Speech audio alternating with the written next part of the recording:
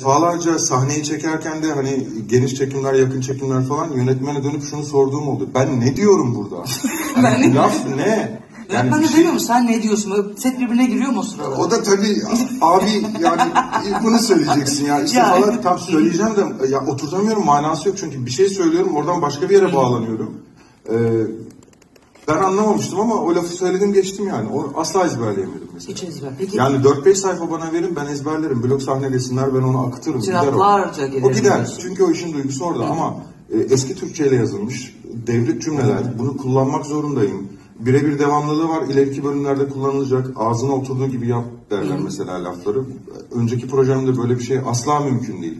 Ne yazılıyorsa motto motto noktasına varana kadar onu söylemek zorundasın. Ve asla anlamadığım bir cümle. Yani ben edebiyat artık yani şunu söylemeyelim. Lütfen yanlış anlamayın. Şarkı sözü yazarıyım yani. Çok fazla irdelerim. Ne nereye gitmeli, kim ne anlatıyor, anlam çünkü falan ya, evet. o cümle yani çok kısa bir cümle. Çok kısa bir cümle. Yani debelendin değil mi orada? Duygusu, evet, duygusunu veremiyorum.